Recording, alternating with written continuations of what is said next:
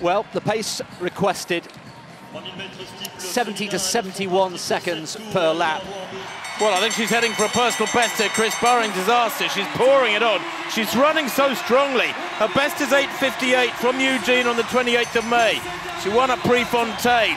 Water jump for the final time was just fine, and she's got about an 80 metre, 90 metre lead. One barrier to go into the home straight. 100 to go. Can we get her home here in Paris under nine minutes for the second time? Oh, a little stutter there. That may well have cost her. She lost some momentum. Maybe she's not going to do it. She's got just under eight seconds to go to get under nine minutes. She is going to do it again.